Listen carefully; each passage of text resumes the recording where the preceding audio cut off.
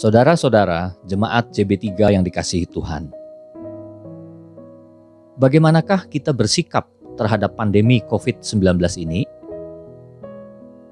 Pada saat ini, di Indonesia saja terdapat lebih dari 6.500 orang yang dikonfirmasi positif terjangkit.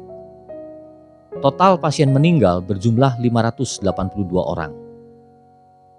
Kalau data tersebut dilihat secara grafik, kecenderungannya masih menanjak.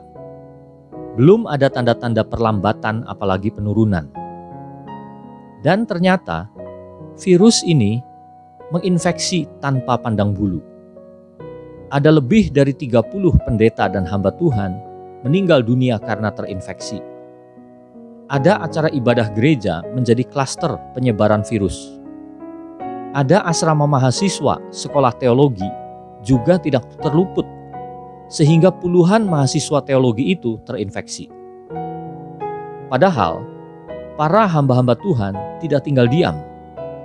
Ada yang mengaku mendapat perintah dari Yesus untuk menghardik dan menghentikan penyebaran virus COVID-19.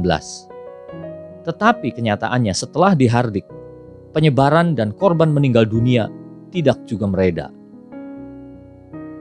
Banyak hamba-hamba Tuhan yang membagikan nubuatan, penglihatan, dan membagikannya di media-media sosial, disertai pesan-pesan beraneka ragam. Mereka memakai kutipan-kutipan ayat-ayat Alkitab. Bahkan beberapa ayat menjadi favorit dan dijadikan seolah-olah sebagai mantra penolak bala.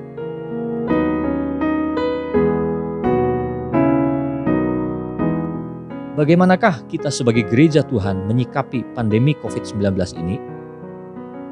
Di masa lalu, ada beberapa pandemi yang dahsyat terjadi. Tetapi setelah sekian waktu akhirnya berhenti juga. Pertanyaannya, apakah pandemi COVID-19 kali ini akan berhenti hanya pada saat sudah waktunya berhenti?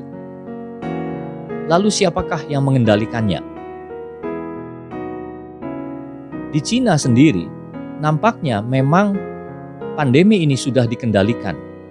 Dan khususnya di Wuhan, tidak ada lagi laporan kasus baru. Beberapa negara seperti Singapura dan Israel juga nampaknya cukup berhasil menahan penyebaran kasus positif COVID-19 ini. Tetapi kalau dihitung di seluruh dunia, peningkatan jumlah kasus positif COVID-19 terus berjalan dengan angka kasus positif saat ini sudah mencapai lebih dari 2,3 juta dan lebih dari 160 ribu pasien telah meninggal dunia. Pertanyaannya, mengapa Tuhan tidak segera menghentikan pandemi COVID-19 ini? Lalu apakah sebenarnya rencana Tuhan bagi kita di balik pandemi ini? Saudara-saudara, bagi Tuhan, tidak ada kejadian di dunia yang dibiarkannya tanpa tujuan. Dengan kata lain, Tuhan tidak pernah kehilangan kontrol. Tuhan tidak pernah kehilangan posisi. Kalau raja-raja dan penguasa-penguasa di dunia ini bisa naik dan turun, silih berganti, karena kekuasaan mereka selalu memudar, tidak demikian dengan Tuhan kita.